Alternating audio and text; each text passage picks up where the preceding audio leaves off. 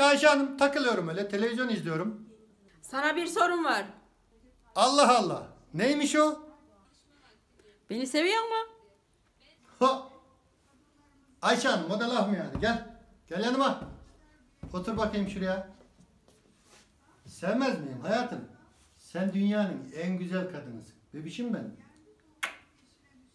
İnsan eşini sevmez mi ya? O ne biçim soru? Hayrola? Söyle. O zaman bana büyük bir çikolata yapar mısın? He. Onun için miydi yani? Evet. Yaparım tabii. Tepe